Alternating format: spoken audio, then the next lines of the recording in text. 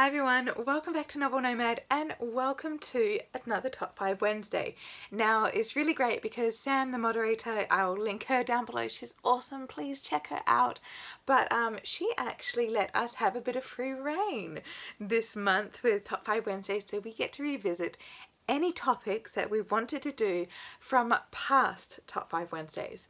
So I am rolling back the clock all the way to August 2016 with the topic today of authors that I am waiting for their next book. So these are five authors that I have read their books and I have absolutely loved and I'm currently desperately waiting for the next one to continue the awesome adventure. So let's get straight into it. So it's going to be absolutely no surprise. Number one is Erin Morgenstern's The Night Circus, which I adored but I am waiting if possible for another book from Erin Morgenstern. I'm not going to be disappointed if she never releases another book and this is basically the only one she brings out but her writing was so magical and just took me away to this amazing world that I would love to see what other worlds she has in store.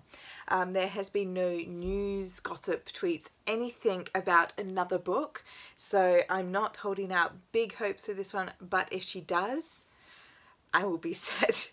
I would absolutely love to read anything else Erin Morgenstern would like to write about.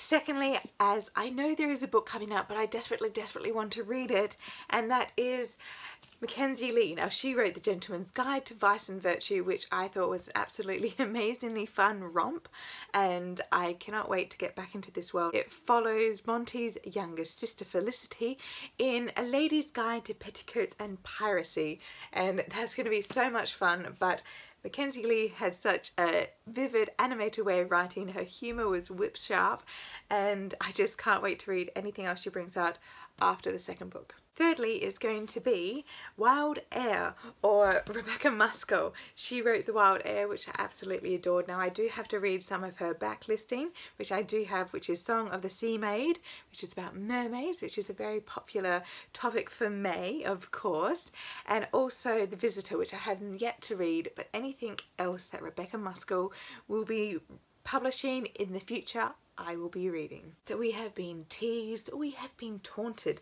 but I want the next book, please, Robert Galbraith, um, or otherwise known as J.K. Rowling. Now, J.K. Rowling has uh, teased us about the title of the next book, called Lethal White. It is a book four in the Cormoran Strike series and this series is utterly amazing. You can also watch the TV drama but I highly highly recommend the books. The first one's a really great introduction, the second one's a really creepy crime and this one's a great thriller. So if you love characters and how J.K. Rowling treats and respects and builds her characters throughout her series, you'd love Robert Galbraith and it is a great way to get into some crime reading. Next and utterly and absolutely not least is Kamila Shamsie.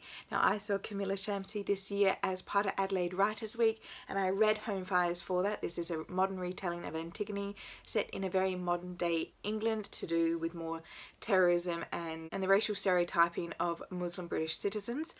But this is this was amazing and now I do have some books from her backlist that I do need to read but like I said with all of these books anything else that Kamila Shamsie is going to write about I will be reading because her writing was so sharp and so to the point and so poignant. She was able to bring out so much emotion within such a short book. It was absolutely amazing and I cannot wait to read more. And especially diverse voices is really really important. So definitely recommend for anyone who wants to read a really interesting take on modern Britain a really interesting way to adapt a Greek tragedy for modern times.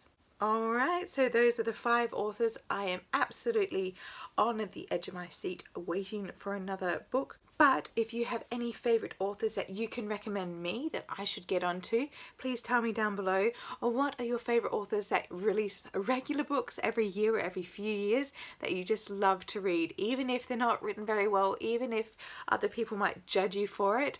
I will not because I completely understand when you find comfort in someone's writing because it just feels like home because you've had so much enjoyment from their writing in the past. So thank you all for joining me. I'll see you next time. Bye.